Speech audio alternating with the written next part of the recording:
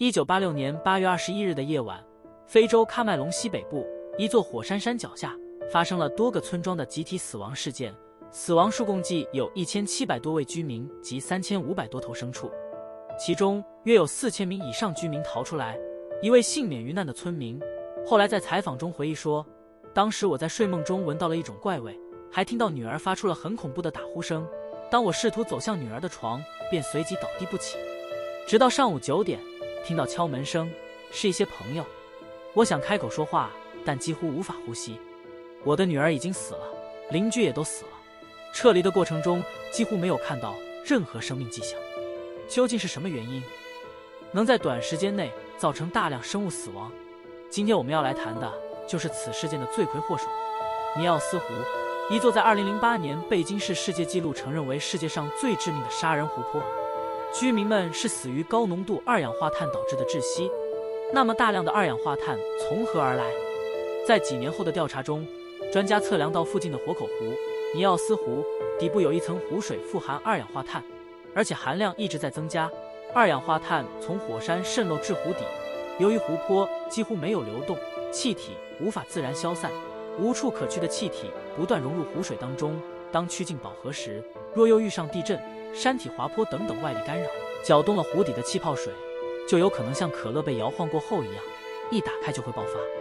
气体从湖中喷发以后，专家估计产生了高达一百公尺的水柱，在周边发生了类似海啸的湖啸，冲倒了树木，淹死了花草。湖水水位因此下降约一公尺，大量的二氧化碳化作云雾般往山下移动。由于比重比空气重，二氧化碳会向下沉降，将平时人类呼吸的新鲜空气往上推挤，导致人类无法在平地吸到足够氧气。而这场灾难又发生在半夜睡觉时间，很多居民因此在睡梦中死去，或是在搞不清楚发生什么事情的时候就昏厥倒地，再也无法起来。我们先来科普一下。一般空气中的二氧化碳浓度约为百分之零点零三五，氧气浓度约百分之二十一。当二氧化碳浓度上升的同时，会压低氧气的占比。氧气浓度若不足百分之十八，则会有缺氧的可能。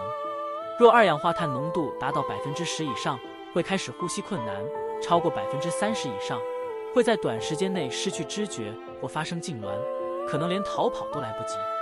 那究竟这些被释放出的气体量有多巨大呢？会导致窒息的云雾覆盖范围，大约是以湖泊为中心的方圆二十三公里内，面积大约是六个台北市。两年前，东南方一百公里处的莫瑙恩湖也发生过湖底喷发，当时造成三十七人死亡，这是目前历史上仅有的两次记录。科学家发现，位在刚果与卢安达交界的基辅湖，同样也富含甲烷与二氧化碳，水深还是尼奥斯湖的两倍，能蓄积更多的二氧化碳，等于是更大罐的可乐。被认为是下一座最有可能喷发的湖泊。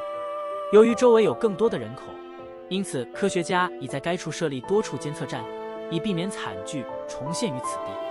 而尼奥斯湖附近幸存的居民仍不愿意离开这个伤心的家乡。现在的尼奥斯湖已有专家团队立起三根排气管，让二氧化碳平时就能以安全的释放量宣泄，希望能将湖泊稳定，让周围的村落能重新建立起来。以上就是今天的影片内容。频道每周会有一到两次更新，希望大家再多多订阅支持了。